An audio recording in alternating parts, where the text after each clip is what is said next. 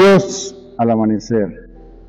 Hoy damos de una manera muy especial gracias al Señor por el regalo de este gran evangelista que según los estudiosos de la Sagrada Escritura dice que pudo haber sido el primero en haber escrito eh, los evangelios, que no fue el evangelio de Mateo el primero, sino el evangelio según San Marcos. Por último, se apareció a los once y les dijo, Id por todo el mundo y predicad el Evangelio a toda criatura. Quien crea y sea bautizado se salvará, pero quien no crea se condenará. A los que crean acompañarán estas señales.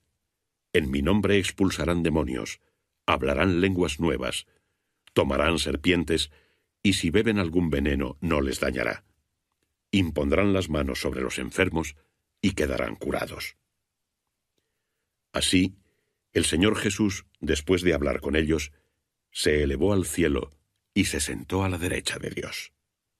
Ellos partieron y predicaron por todas partes, colaborando el Señor y confirmando su palabra con las señales que la acompañaban. Palabra de Dios. Este evangelista tiene el privilegio de, de haber sido el discípulo y, estudiante muy cercano a, San Pedro.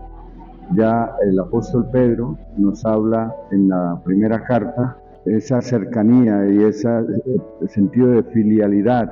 Dice, y mi hijo Marco, ¿sí? mi, gran eh, amigo y, e, y, casi mi hijo, literalmente Marcos, ¿sí?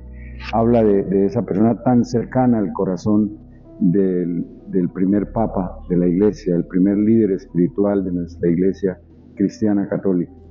Entonces, San Marcos es eh, muy fiel a escribir eh, la historia según de, la experiencia de Jesús, de Jesús aquí en la tierra, de la experiencia que tuvieron los discípulos aquí en la tierra, lo hace de una manera eh, tan viva, tan tan hermosa que desde casi del primer momento empieza con la vida pública de Jesús. Él empieza el Evangelio hablando de cuando Jesús eh, fue a ser bautizado por, eh, fue al desierto en primer lugar y luego eh, primero bautizado por Juan el Bautista e inmediatamente fue al desierto y después del desierto empezó toda su vida pública.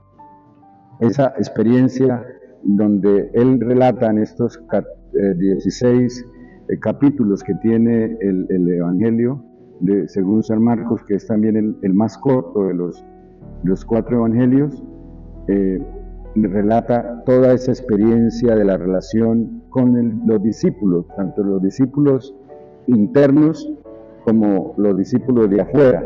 Es, es aquellos que fueron los doce, los doce que estuvieron cerca de Jesús, como los otros discípulos que aparecen eh, en el proceso del de ministerio público de nuestro Señor Jesucristo. Y el apóstol eh, o el evangelista Marcos también nos habla de cómo ese proceso de formación que va llevando Jesús con sus discípulos se vuelve demasiado eh, lento. Jesús tiene que tener mucha paciencia con los discípulos. En la mitad del Evangelio, en el capítulo 9, aparece la experiencia de la sanación de un ciego y donde este ciego eh, Jesús tiene que hacer la, la, obra de sanación como dos veces. La primera vez que le, lo sana, él le pregunta qué que, ves y dice veo hombres caminando como, como árboles. O sea, no, no, no sanó de un solo golpe, sino que tuvo que hacer la experiencia dos veces. Y ese símbolo de cómo el proceso de, formación de los discípulos fue tan lento que el Señor muchas veces les dijo, ustedes por qué son tan lentos y tardos para entender, todavía no comprenden lo que les estoy diciendo, lo que les estoy enseñando. Todo ese proceso nos lo narra el evangelista Marcos en la experiencia de nuestra relación con Jesús. Eso también nos da esperanza a nosotros de que el Señor es paciente con nosotros en nuestro proceso de seguimiento de Él. Por eso no nos debemos dar por vencidos el hecho de que ya llevemos muchos años siendo seguidores de nuestro Señor Jesucristo, habiendo recibido el santo sacramento del bautismo y que todavía no, no nos hayamos convertido del todo, no nos hayamos entregado totalmente al Señor. El Señor es paciente y misericordioso y nos da la oportunidad una y otra vez para que avancemos, así sea al paso de tortuga. Santo Tomás también decía, es preferible eh, caminar a paso de tortuga, pero en la dirección correcta, que ir a 200 kilómetros por hora, pero en la dirección equivocada.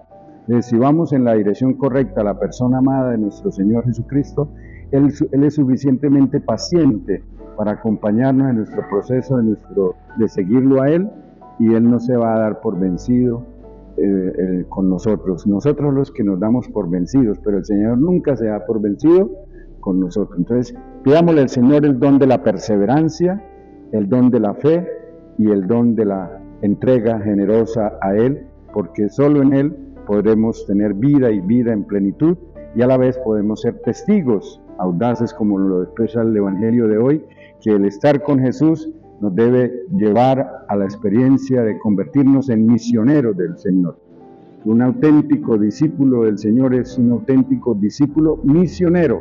Está siempre en salida misionera pensando en el bien, en, hacer partícipe a los demás de la buena noticia de nuestro Señor Jesucristo, nuestro Salvador y nuestro Señor.